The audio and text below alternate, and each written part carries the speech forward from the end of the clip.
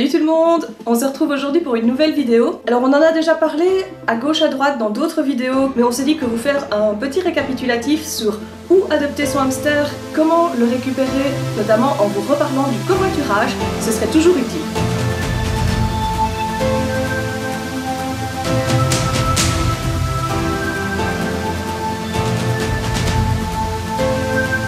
Tout d'abord, on va refaire le point sur le covoiturage. Simplement, en fait, vous confiez le transport du hamster à une personne extérieure. Donc c'est pas vous qui allez aller chercher le hamster, et c'est pas l'éleveur qui va se déplacer, l'éleveur ou l'association ou la personne qui a un hamster disponible. Donc ce ne sont pas eux qui vont se déplacer, ce n'est pas vous qui va vous déplacer, c'est une personne extérieure. C'est pour ça qu'on parle de covoiturage en fait. La personne qui a le hamster disponible et vous, vous allez trouver quelqu'un qui va faire le trajet entre vos deux maisons. En général, on utilise des sites euh, de covoiturage pour humains tout simplement, en expliquant que voilà, c'est juste une petite boîte, ça prend pas de place. On peut également euh, poster sur les réseaux sociaux, il y a des groupes de covoiturage spéciaux pour les animaux qui se sont créés aussi. Si vous adoptez chez un éleveur, il a souvent aussi des covoitureurs réguliers qui font le trajet régulièrement ou eux-mêmes parfois font une partie du trajet. Évidemment, l'animal ne va pas arriver sur le pas de votre porte, mais en général il arrive plus ou moins dans votre ville ou dans la ville à côté de chez vous. Donc voilà, j'espère que maintenant c'est vraiment clair le système de covoiturage. Donc la personne confie le hamster à un covoitureur, donc qui lui va simplement transporter l'animal jusque chez vous ou jusque dans une ville près de chez vous, tout simplement. Une deuxième petite note avant d'entamer le reste de la vidéo, c'est simplement pour vous rappeler que l'adoption d'un animal ne doit pas être un caprice, ça doit être réfléchi. Et donc, comme argument principal, ça ne peut pas être j'adopte celui-là parce qu'il est pas loin de chez moi, ou j'adopte celui-là parce qu'il est pas cher. C'est pas comme ça que ça doit fonctionner. Vous devez chercher l'animal qui va vous convenir, principalement en termes de caractère. Alors le physique, ça peut être important, effectivement, ça peut jouer. Je peux comprendre que vous désiriez un qui ne ressemble pas aux autres, par exemple, ce genre de choses. Je peux totalement comprendre, évidemment. Par contre, renseignez-vous sur le caractère, on n'adopte pas un hamster au physique, même s'il vient chez un bon éleveur par exemple, tous les hamsters n'ont pas le même caractère. Donc il faut d'abord vous renseigner sur le caractère de l'animal, pas le caractère de l'espèce parce que ça ne veut rien dire, le caractère de l'animal en lui-même avant de décider de l'adopter, simplement pour ne pas adopter par exemple un hamster qui est euh, super actif, qui adore explorer, qui adore euh, euh, sortir de sa cage alors que vous, vous vouliez un hamster pour rester devant la télé et avoir un hamster câlin et calme. Donc ça c'est vraiment important, pas de caprice, pas de précipitation, cherchez le hamster idéal parce que vous êtes parti pour 2-3 ans avec lui. Donc renseignez-vous, renseignez-vous, renseignez-vous. Je sais qu'on vous le rabâche tout le temps, mais c'est vraiment important. Alors, où adopter son hamster? Il y a trois possibilités.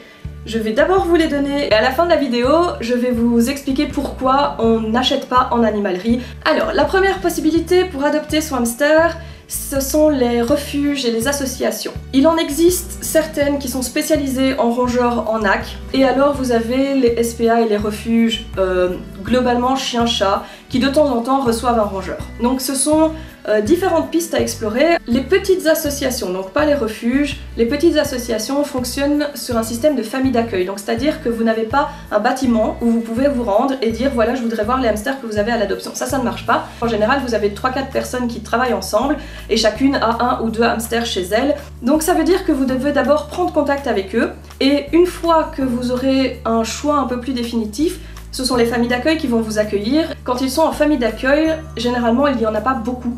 Donc la personne, non seulement elle va apprivoiser l'animal, en général, elle va bien s'en occuper et elle va bien connaître son caractère. Donc elle va pouvoir vous renseigner dans un refuge, en particulier euh, les refuges chien-chat qui ne connaissent pas forcément les besoins des rangeurs. Ils vont vous dire qu'ils ont hamster, ils vont pas savoir ce que c'est, ils vont pas forcément savoir le caractère. Donc vous y allez un peu plus à l'aveugle. Évidemment, faites-le si vous avez envie de le faire, ça sauve un animal, c'est vraiment génial. Je dirais de préférer cette option-là si vous avez l'habitude des hamsters, si vous savez un petit peu euh, les apprivoiser facilement, ou sinon demandez à la personne si ils ont essayé de le manipuler, si est manipulable, etc. Donc voilà, ça c'était la première option, donc les refuges, les associations, vous sauvez un animal, vous êtes sûr de le sauver. La deuxième option, évidemment, ce sont les éleveurs. Alors on n'est pas très nombreux malheureusement en France et en Belgique francophone. Nous sommes trois éleveurs de hamsters syriens il y a une éleveuse de hamster russe et deux éleveuses de Campbell, donc c'est vraiment très très peu. Les autres espèces pour le moment ne sont pas présentes. Si vous cherchez une autre espèce, n'hésitez pas aussi à vous renseigner parce qu'il y a des éleveurs à l'étranger. Encore une fois, étant donné que vous avez le système de covoiturage qui se met encore facilement en place, Vous pouvez adopter à l'étranger, vous pouvez aussi prendre contact avec les éleveurs, je vais dire un mois, deux mois avant les grosses expos automne que nous on fait régulièrement. À savoir qu'à automne, il y a énormément de Français et de Belges qui s'y rendent et vous avez beaucoup plus facile de trouver un covoiturage à ces dates-là. En général, c'est en avril et en décembre les plus grosses éditions, donc n'hésitez pas à vous renseigner un petit peu avant, expliquer à l'éleveur que voilà, vous n'allez pas à automne, mais vous allez essayer de trouver quelqu'un qui s'y rend, voir si éventuellement l'éleveur connaît quelqu'un qui, qui va dans votre région, puisque ça arrive aussi. Quand vous choisissez un éleveur, donc nous on vous parle des éleveurs éthiques. En élevage éthique, on est trois en syrien, une en russe et deux en Campbell. On vous mettra les liens sous la vidéo, comme ça vous pouvez pas vous tromper. Les autres éleveurs que l'on connaît, ils ne respectent pas, par exemple, les intervalles entre les portées, ils ne respectent pas le nombre de portées sur, euh, sur la vie d'une femelle, donc ça veut dire qu'ils vont les fatiguer, ce genre de choses. Pas forcément tout à la fois, hein, ça dépend un petit peu, mais ils peuvent, par exemple, ne pas respecter la taille des habitats recommandés, donc c'est-à-dire qu'ils sont dans des habitats plus petits que 80 sur 50. Ils ne respectent pas en termes d'alimentation ou en termes de manipulation. On, voit des éleveurs qui font du, de l'hybride russe Campbell à tout va parce que euh, c'est marrant, on peut avoir plein de couleurs, mais à côté de ça, on s'en fiche complètement qu'il y ait des problèmes de santé ou de caractère. Enfin vous avez de tout. Euh, n'importe qui peut vous dire je suis éleveur de hamster, il n'y a aucun moyen de prouver, pas prouver que c'est vrai, mais de prouver son éthique. D'accord? Vous pouvez pas être éleveur et élever dans votre coin, c'est pas possible. Si vous élevez dans votre coin et que vous ne partagez avec aucun éleveur, ça veut dire que vous êtes parti d'une seule souche et que vous élevez tous vos hamsters sur cette souche-là. Donc c'est hyper hyper hyper consanguin. Ou que vous partez d'une souche et que vous rajoutez des animaux d'animalerie. Voilà. C'est pas comme ça que ça marche un élevage va euh, adopter des reproducteurs euh, chez d'autres éleveurs, faire des échanges, et en même temps le fait qu'on soit entre éleveurs fait qu'on se parle beaucoup, on voit les études récentes, on discute des problèmes qu'on a eu, des solutions qu'on a trouvées, etc. C'est vraiment important que l'éleveur soit connu des autres éleveurs. Parce que s'il n'est pas connu, ça veut dire qu'il fait ça dans son coin, ça veut dire forcément il y a quelque chose qui ne va pas. Donc pour choisir l'éleveur chez qui vous allez adopter, ne choisissez pas le plus proche de chez vous, ça je l'ai mentionné juste avant. Allez sur les sites des éleveurs, regardez s'ils ont posté leur éthique, regardez leurs installations, regardez leurs vidéos s'ils en ont. Voyez en gros, essayez de voir au feeling d'abord si l'élevage vous semble correct. En deuxième lieu, n'hésitez pas à demander des avis. On a répertorié sur le site du HCF les éleveurs francophones. Euh, par contre, effectivement, il y a euh, des éleveurs un peu partout. N'hésitez pas à demander les avis des gens, en particulier les gens qui ont déjà adopté chez eux. Par exemple, sur les pages Facebook des éleveurs, vous avez parfois aussi des adoptants qui viennent poster des photos, qui mettent des liens, qui... Euh, voilà. Ça aussi, ça vous permet de voir aussi ah cet animal là il a été adopté il y a deux semaines, il a l'air super câlin, super proche de l'homme, blablabla. Donc vous voyez que quelque part l'éleveur fait un travail de manipulation, de sociabilisation. N'oubliez pas que quand vous adoptez chez un éleveur, vous n'allez pas forcément avoir un bébé tout de suite là maintenant. Ça dépend évidemment de ce qu'il a disponible. Ça peut être frustrant, par contre encore une fois, c'est pas un caprice, ne vous rabattez pas forcément sur euh, un autre éleveur ou une espèce que vous n'aviez pas prévu d'avoir, simplement parce que euh, celui que vous vouliez, il n'est pas dispo maintenant, il sera dispo dans un mois, et ça vous arrange pas. Ça c'est vraiment, c'est par définition, c'est du caprice. Donc patientez, profitez-en pendant un mois par exemple pour racheter des accessoires, lui faire un parc, lui créer euh, des jouets, enfin ce genre de choses. Profitez-en en attendant, mais ne vous précipitez pas, franchement ça ne sert à rien. L'avantage que vous avez en élevage, c'est que l'éleveur va pouvoir vous dire le caractère des bébés qui sont disponibles, vous aider à choisir le hamster qui va vous convenir le mieux, que ce soit physiquement mais aussi le caractère. Il va vous accompagner tout au long de la vie de l'animal. L'éleveur il sera toujours là. Vous pouvez envoyer un mail, vous voilà, vous dites euh, vous avez un problème, vous n'êtes pas sûr, vous avez une question, une interrogation. L'éleveur il sera toujours disponible, il vous répondra, il vous guidera, il aime bien, on aime bien avoir des nouvelles, on aime bien avoir des photos. Je sais que nous on a tendance à aider aussi les adoptants quand il y a des départs en vacances, quand il y a des divorces pas prévu, ce genre de choses. On est toujours là pour aider. Bref, L'éleveur, il sera là. Il y a un suivi au niveau de l'animal. En adoptant chez un éleveur, vous êtes sûr aussi euh, d'avoir un hamster dont la santé et le caractère ont été travaillés. Alors, on ne peut pas vous garantir que le hamster n'aura pas de problème de santé. C'est impossible. C'est pas des robots, euh, ce sont des êtres vivants, donc tout va évoluer, il y aura les problèmes de santé qui peuvent euh, survenir en fonction de l'environnement de l'animal, mais aussi vous avez des problèmes de santé qui peuvent survenir parce que euh, c'est dans la lignée et ça n'était pas encore apparu et on ne s'est pas rendu compte. Ça c'est très possible aussi. Mais globalement, vous avez quand même beaucoup moins de malchance d'avoir des problèmes de santé avec un hamster qui vient d'un éleveur qu'avec un hamster qui vient d'animalerie ou de particulier ou de lignée consanguine.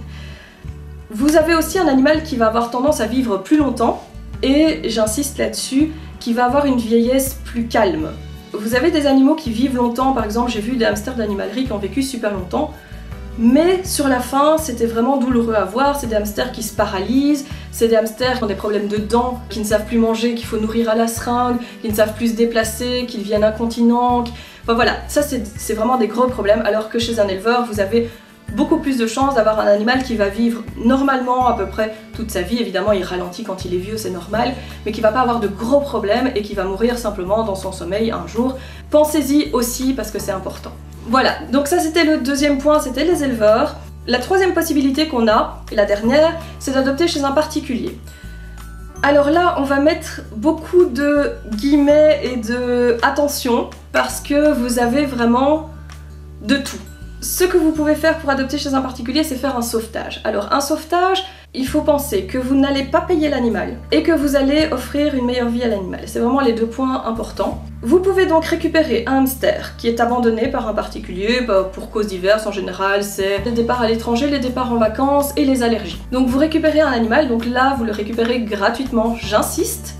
Vous ne donnez pas d'argent à quelqu'un qui abandonne son animal. Non, non, non, non, non. Vous pouvez récupérer un bébé de portée surprise, donc je vais parler après des animaleries. Il y a énormément de gens qui achètent une femelle en animalerie qui est pleine et donc qui fait des bébés surprises, on appelle ça des portées Kinder. Donc la personne va s'occuper des bébés et puis va essayer de les placer. Faites quand même attention. Alors je vais pas dire que vous ne devez pas le payer parce que la personne a quand même dépensé des sous pour élever la portée, donc je peux comprendre que parfois on demande un petit supplément. Certaines personnes aussi aiment demander un supplément pour éviter qu'ils finissent au serpent, donc je peux comprendre la démarche. Je vais simplement vous dire de faire attention à l'histoire qu'on vous raconte quand vous regardez une portée de hamster chez des particuliers. Si la personne vous explique qu'effectivement elle a eu la femelle pleine en animalerie, vous, regardez effectivement dans la cage, la femelle elle est toute seule, elle est voilà, c'est le seul hamster de la maison, c'était une portée pas voulue, ok.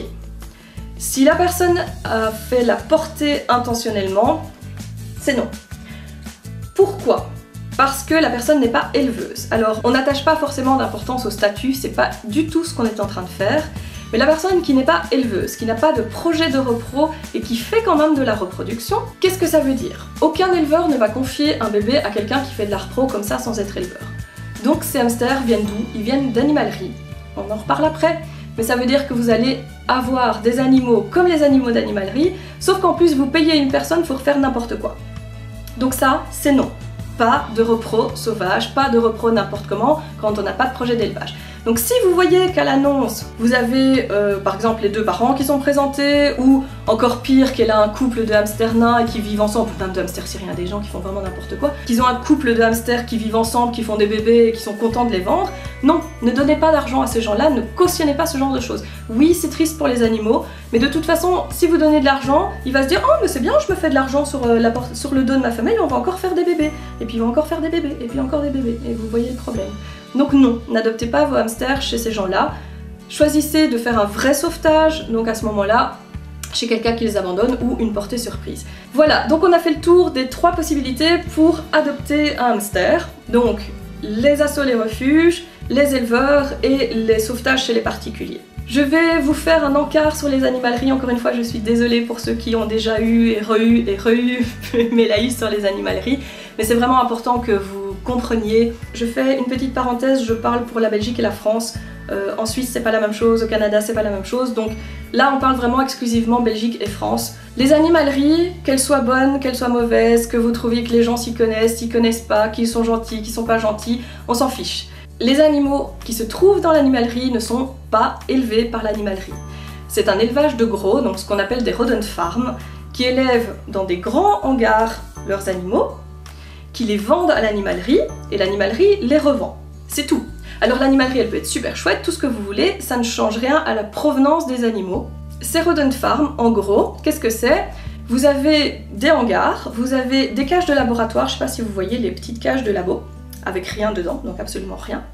Ils mettent des couples là-dedans, les couples qui en général finissent par se battre à mort parce que l'espace est trop réduit, qui sont pas faits pour vivre en couple selon les espèces, blablabla, et font portée sur portée sur portée. Soit c'est le mâle qui va mourir d'abord parce qu'il va se faire euh, attaquer par la femelle, soit c'est la femelle qui va mourir d'épuisement au bout de la 4, 5, 6e portée. Les animaux qui sont là-dedans passent leur vie à faire des bébés puis à mourir.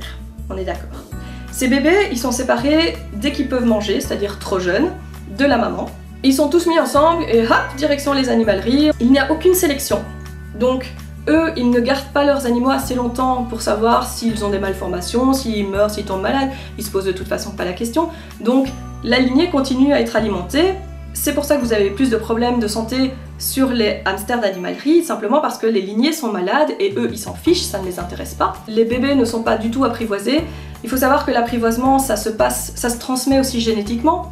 Donc chez un éleveur, vous allez avoir 20 générations d'animaux apprivoisés. Il n'y a presque plus de travail à faire sur les bébés qui naissent. Dans les animaleries où aucun bébé n'est apprivoisé, aucun parent n'est apprivoisé, tout l'apprivoisement est à faire. Vous ne savez pas si votre animal va mordre, s'il va pas mordre, s'il va être câlin, s'il va être explorateur, s'il va aimer sortir, vous n'avez aucune idée de combien de temps il va vivre, de ce qu'il va développer comme maladie. Alors on en a beaucoup parlé aussi, mais les animaleries ne différencient pas les Russes et les Campbell, donc tous les hamsters nains russes qui sont en animalerie sont des hybrides. On a fait une vidéo sur l'hybridation, donc n'hésitez pas à aller voir, je vais vous mettre le lien ici en haut.